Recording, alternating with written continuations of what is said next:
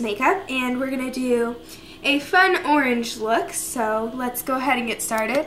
So as always, I'm going to apply a primer to her eyelids. I'm going to be using the Urban Decay Primer Potion.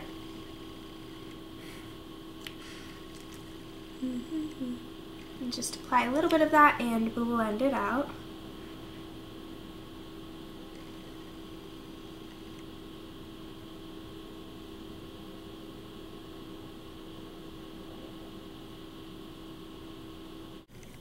Okay, next I'm going to apply NYX's Jumbo Eye Pencil and Yogurt. And this is just going to be a base for the eyeshadow colors we apply next because we want the eyes to be pretty natural since the cheeks and lips are going to be so bold.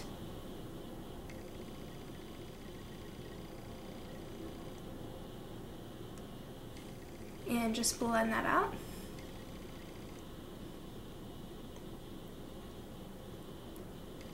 I'm going to take all that glitters eyeshadow from MAC and I'm going to apply this over the base we applied. And I'm just going to apply this to her eyelid.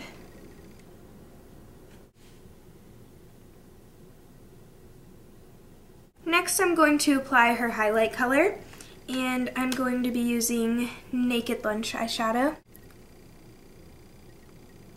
And I'm just going to apply this to her inner tear duct.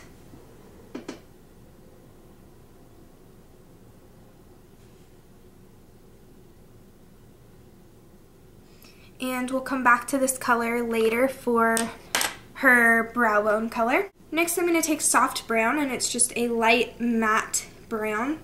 And we're going to place this through her crease.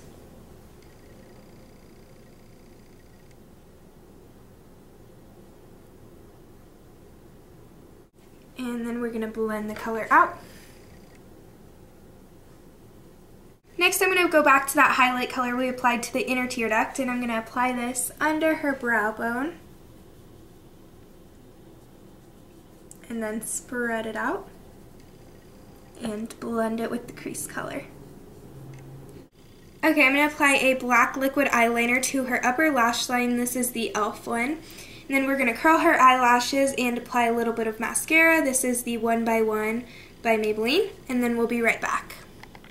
Next I'm going to apply the orange blush. And this is Modern Mandarin from MAC. And it's just a bright orange blush. So I'm going to apply that to the apples of her cheeks. So oh go gosh. ahead and smile.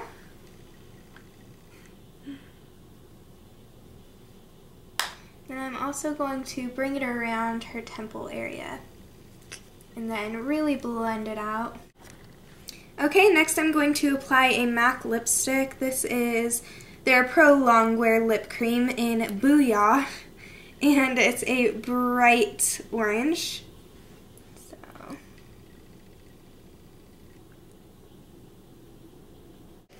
Okay, so this is the finished orange makeup look. I hope you guys enjoyed, and I will see you next time.